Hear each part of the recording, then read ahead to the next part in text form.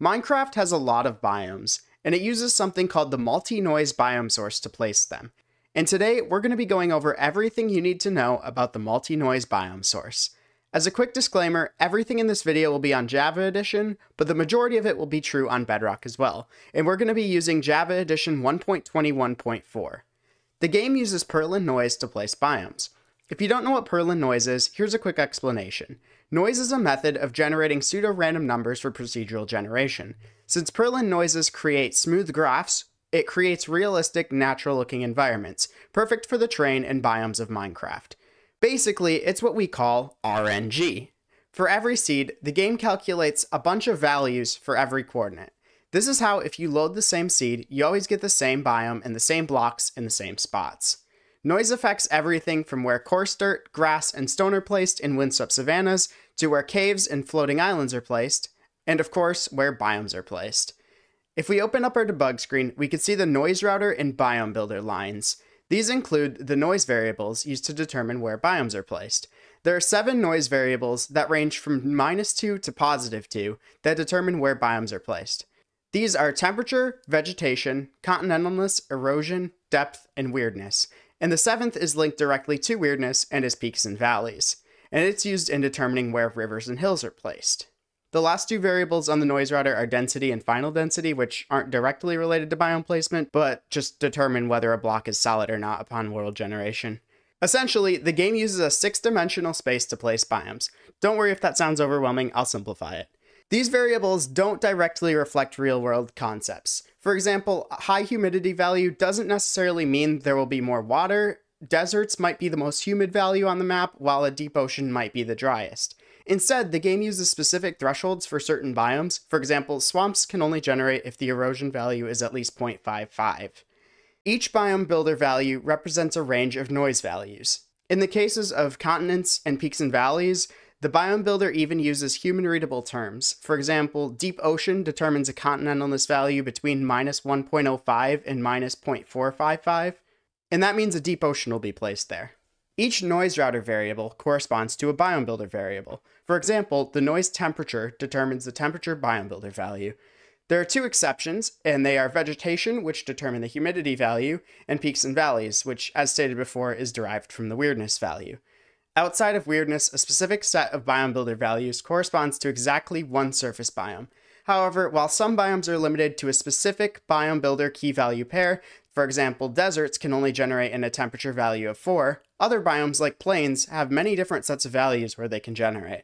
Here's a breakdown of what the 7 noise variables do. Temperature is responsible for placing hot and cold biomes, like deserts and ice plains. However, it doesn't directly influence the biome's temperature. For example, taigas can generate in temperature values of 0, while snowy slopes can generate in temperatures of up to 2. Humidity is responsible for placing dry or lush biomes, like plains or dense forests. Because these values are extreme, you won't find these biomes generating next to each other. Continentalness is responsible for determining whether or not an area will be flooded and places biomes like oceans and land biomes. Additionally, it indirectly determines where certain cave biomes are placed, but we'll get to that another time. Erosion affects the height of the terrain, and it also affects certain biomes. For example, high erosion values generate hills and swamps, while low value erosions generate mountain ranges and fjords. Weirdness determines which biome variant is placed, for example, determining regular versus tall birch forests. It also influences the peaks and valleys, which determine where mountain peaks, plateaus, and rivers are placed. And finally, depth is tied directly to the distance to the surface, and is the only variable which changes depending on your y value, and its job is to place cave biomes. You can actually use the biomes around you to figure out where other biomes may be located. For example, since each variable is a spectrum, and since temperature directly influences the kind of ocean, Finding a regular ocean and then a lukewarm ocean is a good indicator that there might be a warm ocean. Because of this, you can also use this to find other biomes like deserts, pale gardens, or cherry groves. Another example is that shattered biomes, which generate an erosion 5, generally indicate that there is a swamp nearby, since they generate an erosion 6. The more extreme the parameter is for a specific biome, the less likely it is to generate. For example, mushroom islands require a continentalness value of under minus 1.05 to generate, which makes them pretty uncommon. I'm planning in the future to make a deep dive on each noise variable, so let me know in the comments which ones you'd like to see first. Also, if you're enjoying the video, make sure to leave a like as it helps support the channel, and hit the subscribe button if you'd like to see more videos like this. Anyways, let's get back to the video.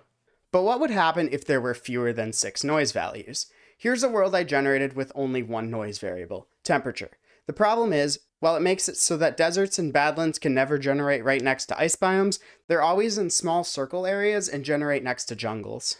Adding a new variable, humidity, makes it so there is more clear variation of biome placement. However, swamps and plains can generate high up, and hill biomes might be completely flat. Adding erosion solves this. Now mountains will generate in low erosion areas, while swamps and plains will generally be in flat areas. But we still have a problem. Mountain peaks and rivers are considered the same biome. Let's add peaks and valleys for a distinction.